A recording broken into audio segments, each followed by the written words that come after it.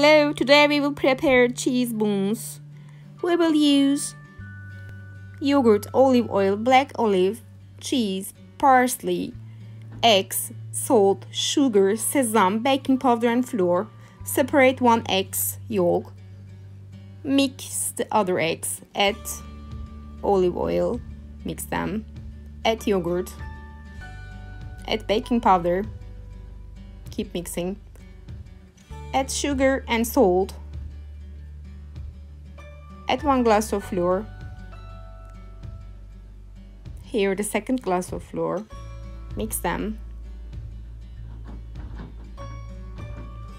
Here goes the third glass, but use a spoon to mix it.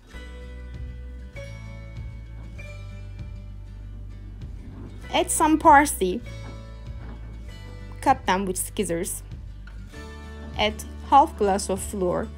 Finally, you will have non-sticky dough. Here you can see. We will use some cheese and parsley and also black olive. Take the seeds of the olive out.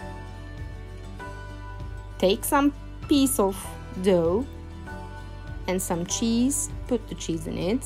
You shape the dough in the hand.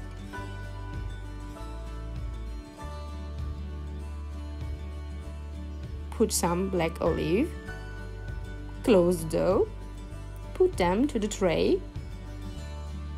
Apply one egg yolk with a brush.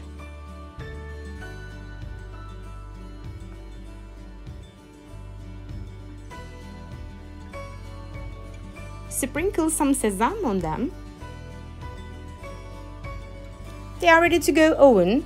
Bake them for 30 minutes at 180 Celsius centigrade.